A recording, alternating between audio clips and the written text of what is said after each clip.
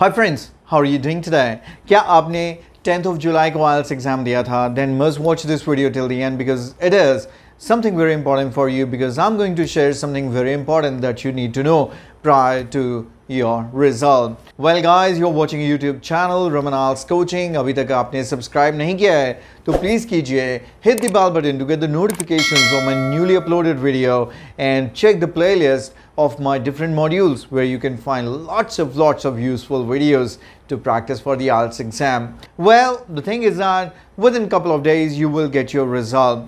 Usually on the 13th day of your exam you receive the result all that I want कि आप comment section का इस्तेमाल कीजिए। आपको याद होगा कि 10 जुलाई एग्ज़ाम की भी हमने वीडियो बनाई थी, जहाँ पर आप फ्रेंड्स के साथ इन टच आ गए थे, जिन्होंने 10th ऑफ़ जुलाई का एग्ज़ाम दिया था at different locations now I want कि आप जैसे ही आपका रिज़ल्ट डिक्लेयर हो, आप मेरे साथ अपना रिज़ल्ट शेयर करें। ये exam result would help us to understand that how was the overall result because it will help everyone to understand that those who prepare well always achieve good results and those who do not have to suffer at the same time there are always few fortunate and unfortunate people and um, this thing happens all the time well बात करें अगर comment section की आपको share करना है अपना result overall result and the individual result in different modules. And please share the venue as well where you took the exam. Now, यहाँ पर अगर आपने BC का एग्ज़ाम दिया था तो वो भी मेंशन कीजिए that it was the BC last result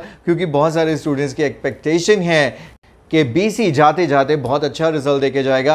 आइए देखते हैं कितनों को अच्छा रिज़ल्ट अगर आपका कोई भी क्वेश्चन है ई e रिलेटेड तो प्लीज़ मेरे ई e पर बहुत सारे वीडियोज़ हैं। यहाँ पर भी मैं आपको क्विकली बता देता हूँ।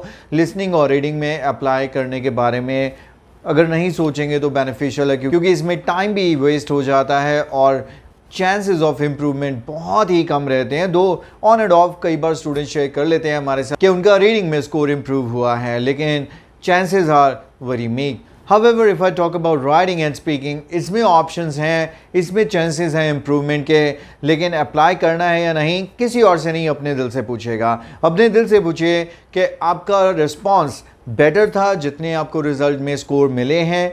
अगर तो आंसर आपको येस मिलता है तो रिवेल्युएशन अप्लाई कीजिए। अगर आपको लगता है कि नहीं, ऐसा ही था, या ऐसे भी ढीला डाला था, गलती से भी अप्लाई मत कीजिएगा। ये सोच के कि अगर अप्लाई करेंगे तो रिज़ल्ट इंप्रूव हो जाएगा। अगर ऐसा हो तो हर स्टूडेंट अप्लाई कर दे और हर किसी का इंप्रूव हो जाए।